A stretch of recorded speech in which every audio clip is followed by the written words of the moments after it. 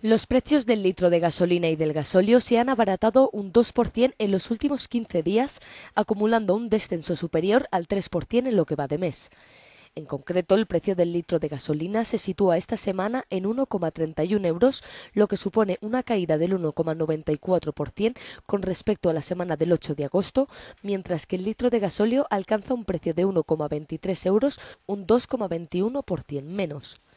Aún así, en lo que va de año 2011, el precio del litro de gasolina se ha encarecido un 4,38%. Con los actuales niveles de precios, el llenado de un depósito medio de 55 litros de gasolina cuesta 72,11 euros, frente a los 64,62 de hace un año. En el caso del gasóleo, llenar el depósito de un vehículo asciende actualmente a 68,15 euros, unos 8 euros más que en la segunda semana de agosto del año pasado. Este abaratamiento de los precios de los combustibles en la recta final de agosto puede beneficiar a los millones de españoles que regresan de sus vacaciones estivales, ya que se prevén más de 6 millones de desplazamientos por carretera.